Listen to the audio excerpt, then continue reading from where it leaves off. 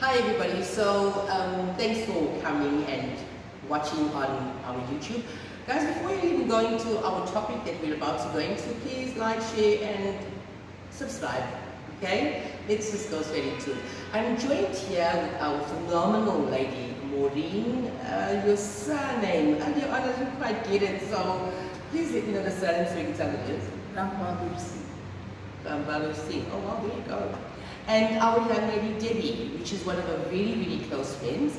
Um, and today we want to just have a little bit of honor, you know, just um, with Maureen, because Maureen is um, going to be honored tonight with her human rights defender. Human rights defender was captivating.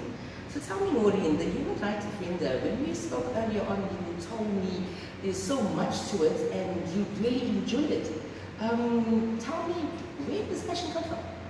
Came from the Human Rights um, Constitution, where the dignity of human beings must be protected regardless of the situation. And that is the reason why uh, passion grew within me.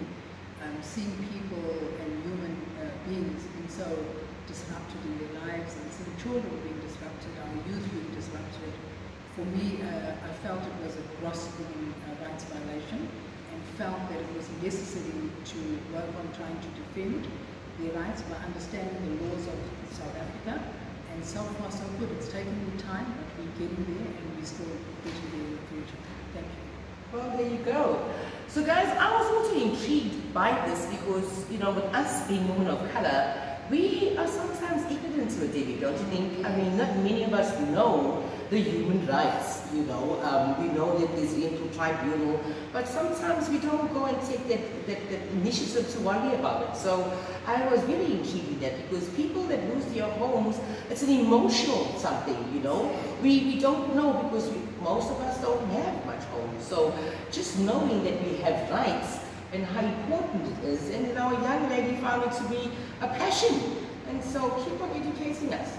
Okay, so what do you think, um, uh, uh, Debbie? Yeah, I would think so. And then also, you know, Maureen, the question is why?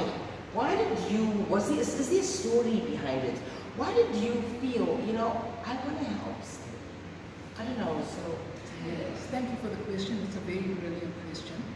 And just to let um, the people in South Africa know that litigation is a litigious um, uh, training exercise it's an astronomical exercise, and it's an exercise that most poor, marginalized people simply can't afford.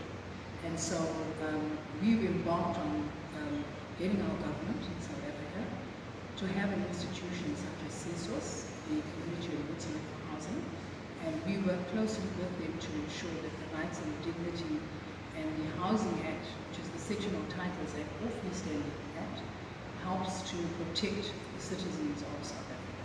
Thank you. There you go, there you go. And you know, us right now, you know, the youth, I'm, I'm, I'm, I'm challenging a lot of the youth. Why? Because we sometimes um, don't know what career to choose. You know, uh, people want to go, or the youngsters want to go into legal, okay? Paralegals, okay? It's a lot of work. It's a lot of reflections. I mean, you know, the doctors and the lawyers, they always want to go back to the books, you know? Um, and for the youngsters, do you think it's a career that, uh, you know, one could choose um, growing up? Is it a good investment to want to choose to go into understanding and studying human rights? Yes, indeed it is. Housing is a right to every citizen of this country. It's enshrined in our constitution. And exercising and unpacking the constitution where the housing is stated is a very uh, important part of that. And it's an act that gives us an opportunity to maintain the dignity where we live. Every house has, uh, is affected by environmental um, issues and so it's important for you to understand how it works, what the cost of it is, what the procedure is and I think it's important for them to work on both of those subjects to be able to understand. And then of course with the legal side of it, it's never a wasted exercise. It is always an exercise that must be um, followed and it's an exercise that can only empower them to remain under the roofs that they obtain, regardless of how it is obtained. Absolutely. But Debbie, on that note, I just wanted to ask, and also to the viewers out there, as women of color, You know, I grew up in, in a place that was, at the time, apartheid regime, we had to go on to different locations. You know, some people are from Sydenham Heights, some people are from RDP homes, some people have no choice, you know, and, and, and having that, the question is always, Mom, why did we have to stay here? Why did we have to stay in, in, in Road or in Wentworth in this place? Or I'm going to, there's so many, many places, guys, you know. So the question again goes out, because we are so questioned, is it motivation enough to want to learn our rights? Yes, I think it's crucial. You know, the more we know our rights, the better lives we can live. Knowing your rights eradicates poverty, because you have education.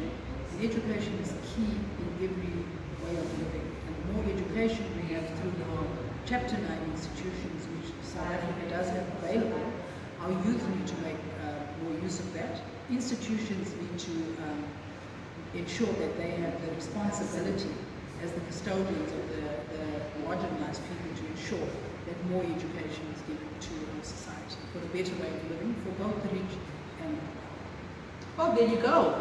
Guys, this is this is where we, we at at the moment. So the question out there, why we stay, we always say it's not where you stay, it's how you stay.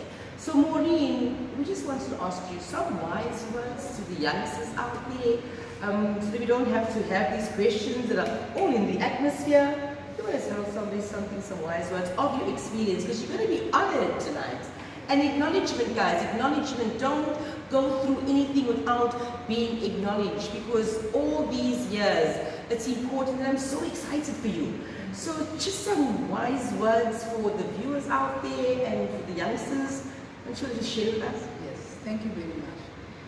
South Africa is a beautiful country. It's a country that has the best constitution in the world. We have a constitution that we very um, seldom use to benefit from. And the youth has a land of opportunities. The sky is the limit in South Africa and we need to embrace the country we live in. We need to embrace the laws that we have. We need to exercise the laws and we need to learn more about the laws.